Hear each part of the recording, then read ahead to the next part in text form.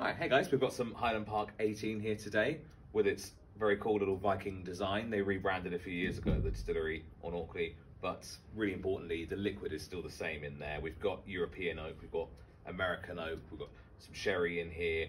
Um, really, really, it's a classic whiskey for a reason, this one. Um, people love the Highland Park peats, that sort of slightly heathery kind of floral style of peat, and there's plenty of that in this, as well as that really beautiful honeyed sweetness that Highland Park always has. Really nice kind of pear drop fruitiness as well. And this one is so inviting, it's really sophisticated. Palate is gorgeous, there's sort of nice gingery spice on there, there's honeycomb, uh, there's toffee, vanilla. It's really, really beautiful stuff, this, and a brilliant present if you're looking for something still for Father's Day.